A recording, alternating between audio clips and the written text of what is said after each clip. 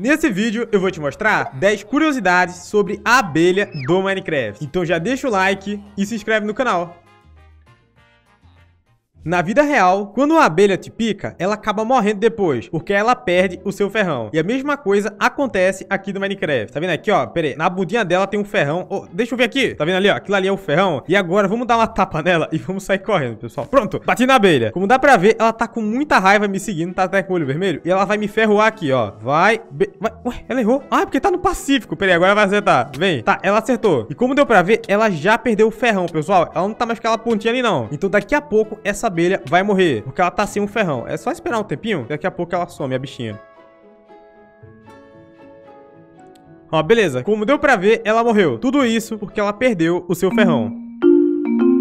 Se você bater em uma abelha, todas as outras que estiverem por perto também vão ficar com raiva de você. Ó, bati nessa aqui, ó. Eita, tô correndo, tô correndo. Pessoal, tá todo mundo com raiva de mim e me seguindo, como deu pra ver. Então, muito cuidado, hein. Olha só, é, e, e, se eu colocar mais aqui, ó? Tá, ela não vai nascer com raiva de mim, não. Mas eu vou bater nelas aqui, ó, e pronto. Tem mais abelha com raiva de mim. Corre, corre. Porque elas andam em grupo. A melhor maneira de se proteger de um ataque de abelhas é se escondendo embaixo da água. Vamos fazer o seguinte aqui também, pessoal. Eu vou colocar as abelhas aqui, beleza. Vou bater em uma delas e todas vão ficar com raiva de mim. Então agora é só pular na água que elas não vão conseguir entrar, entendeu? Elas não conseguem entrar na água. E obviamente, né, leva uma porta com você pra você conseguir colocar a porta e ficar respirando embaixo d'água. E é isso, mano. Eu tô aqui tranquilinho e as abelhas não conseguem entrar na água pra me pegar. Olha só que legal.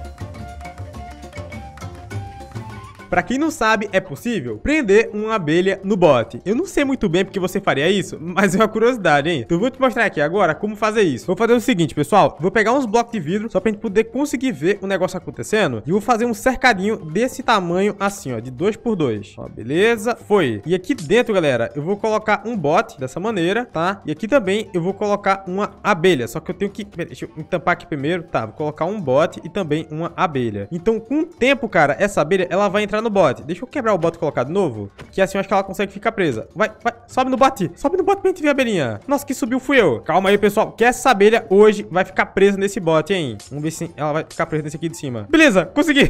Consegui. Pessoal, como dá pra ver, a abelha, ela tá presa no bot. Então você consegue transportar uma abelha usando o bot. Não é uma maneira muito inteligente, não, mas funciona. Olha só que legal.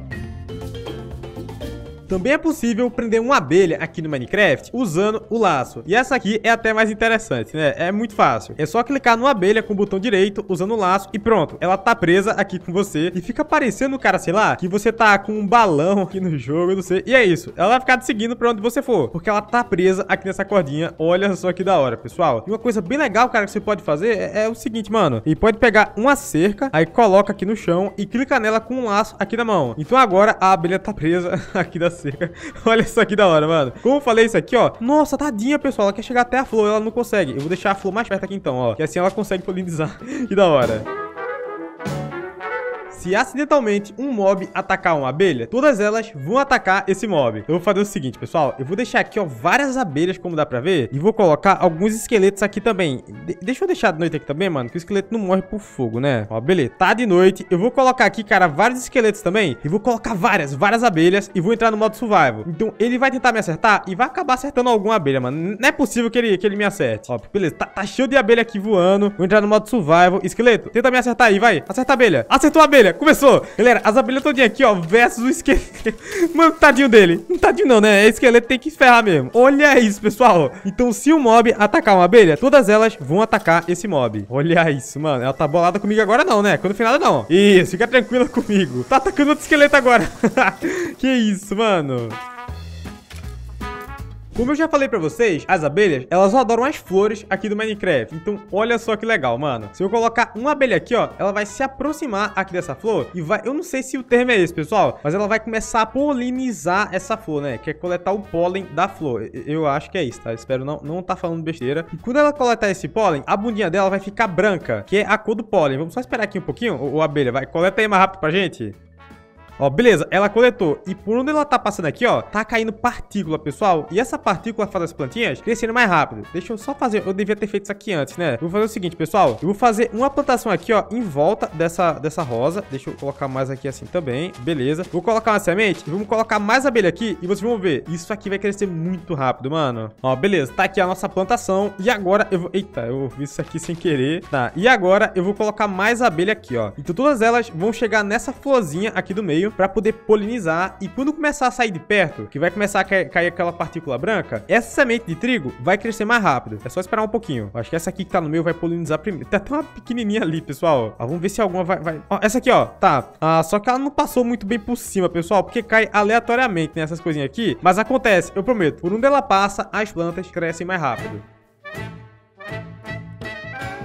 Se você encontrar uma colmeia desse jeito, significa que ela tá cheia de mel. Mas se você for coletar o mel assim do nada, as abelhas vão ficar boladas com você. Mas tem uma maneira de acalmar as abelhas aqui no jogo. E para poder fazer isso, é só usar uma fogueira, pessoal. É só colocar a fogueira aqui embaixo, dessa maneira assim, ó. E a fumaça vai começar a acalmar as abelhas. É basicamente essa aqui a ideia. Deixa eu até colocar mais fogueira aqui assim, ó. Colocar mais fogueira aqui assim também, para poder acalmar as abelhas, entendeu? Então, beleza. Eu acho que tem nenhuma abelha aqui dentro. Vamos fazer o seguinte, ó. Vamos pegar pegar aqui o potinho, tá? Que não tá aqui não? Acho que é o boro, né? Eu falei errado. Aqui, ó, o boro. Beleza. E vamos coletar o mel. Eu só... Ei, mas tem uma abelha aqui perto, ela vai ficar bolada comigo. Deixa eu colocar mais, mais fogueira assim, ó. Uma embaixo dela pra ver se ela se acalma. Tá, ela tá indo pra longe, pessoal. Eu, eu acho que é isso. Agora é minha chance. Aí você pega aqui, ó. E pronto. Ela não ficou bolada comigo, né? Ela tá de boa comigo. Porque eu usei a fogueira pra poder acalmar as abelhas.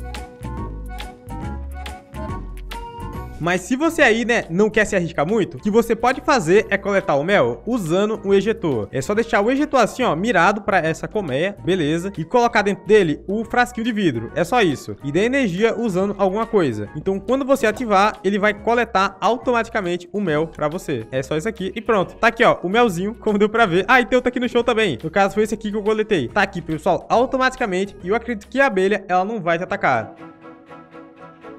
Com esse mel coletado da abelha, é possível fazer o bloco de mel, que é esse bloco aqui, como dá pra ver. E esse bloquinho, pessoal, ele tem uma coisa bem engraçada, que é a seguinte, mano. Quando você tá pisando nele, você não consegue pular. A prova é tanta que é a seguinte, ó. Eu vou colocar aqui, cara, um porquinho aqui dentro, beleza. E como dá pra ver esse cercado, só tem um bloco de altura. E, mano, esse porquinho, ele não vai conseguir fugir, porque é impossível pular no bloco de mel. É como se ele tivesse grudado aqui no chão. Mas se eu fizer aqui, ó, o mesmo cercado, só que sem mel no chão, o porquinho, ele consegue sair. Ó, deixa eu eu ficar com a cenoura aqui na mão pra ele me seguir? Pronto, tô com a cenoura aqui, ó. E ele pulou. Esse aqui não consegue pular porque ele tá preso aqui dentro. Será que consigo... Cai aqui também um pouquinho. Cai, cai, cai aqui, cai aqui. Ó, esse aqui é esperto, hein? Ele sabe que se cair, ele tá ferrado e ele não quer cair aqui não. Mas é basicamente isso, mano. Tô aqui em cima também, ó. E nem eu consigo pular direito, tá vendo? Eu não consigo passar por esse bloco. Esse bloco realmente é muito grudento, pessoal. Então, pessoal, essas aqui, né, foram as 10 curiosidades sobre a abelha do Minecraft. Eu espero que você tenha gostado desse vídeo. Se você curtiu, deixa o like e se inscreve no canal, beleza? Então é isso, pessoal. Vou ficando por aqui. Até o próximo vídeo. Fui! Lembro do passado, só consigo me